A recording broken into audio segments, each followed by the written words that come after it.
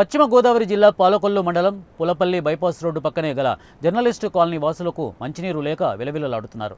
బడుగు బలహీన వర్గాలకు చెందిన వారు నివసించే ఈ కాలనీలలో బోరు నీరు సౌకర్యం కూడా లేకపోవడంతో నానా ఇబ్బంది పడుతున్నామని డ్రైనేజీ వ్యవస్థ సరిగా లేక దోమలతో ఇబ్బంది పడుతున్నామని మహిళలు పెద్ద ఎత్తున పాల్గొని సోమవారం రోడ్డుపై ఖాళీ బిందెలతో నిరసన తెలిపి ధర్నా నిర్వహించారు.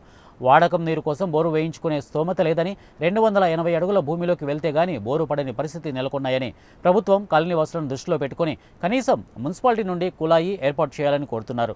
ఇక పంచాయతీ అధికారులను అడిగితే ఈ సమస్య మాకు సంబంధం లేదని మున్సిపల్ కమిషనర్ను అడగాలని జవాబిస్తున్నారని పాలకొల్లు చుట్టుపక్కల కొన్ని గ్రామాలు మున్సిపాలిటీలో విలీనమైందని ఒకరినొకరు సమస్యను పక్కదోవ పట్టించి నానా ఇబ్బంది పెడుతున్నారని మహిళలు వాపోయారు. కాలనీ వాసుల్లో ఒక ఇంటి యజమాని సొంత ఖర్చుతో ఆయన ఇంటి నుండి బోరు ద్వారా నీరు అందించేవారు. ఇక మోటార్ కాలిపోయినందున ప్రస్తుతం నీరు ఇవ్వలేని పరిస్థితి ఉందని పంచాయతీకే పనులు చెల్లిస్తున్న మౌలిక సదుపాయాలు కలగజేయడం లేదని ఆవేదన వ్యక్తం చేస్తున్నారు.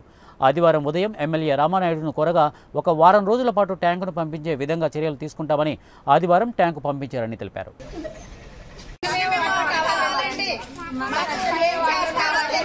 మాకు నీళ్ళు కావాలి మా వెంటనే వాటర్ కావాలి?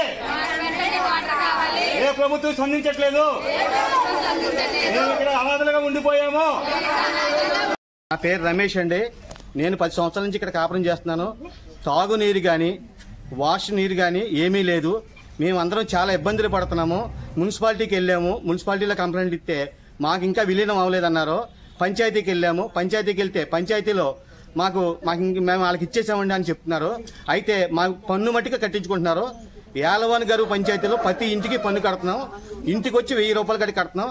కరెంటు కానీ నీళ్ళు కానీ ఒక ఏమి డ్రైనేజీ కానీ ఏమీ లేదండి. పట్టించుకోని ప్రభుత్వం అండి ఇది. ఈ ప్రభుత్వంలో చాలా ఇబ్బందులు పడుతున్నాం మేము అందరం. ఇంతమంది ఎంత ఇబ్బంది పడుతున్నారో చూశారు కదా మీరందరూ? చూసి మాకు స్పందించి ప్రభుత్వం ఏ ప్రభుత్వం ఏం చేస్తుందో మాకు కొంచెం నీళ్ళు వచ్చేలాగా చూడాలని కోరుకుంటున్నామండి.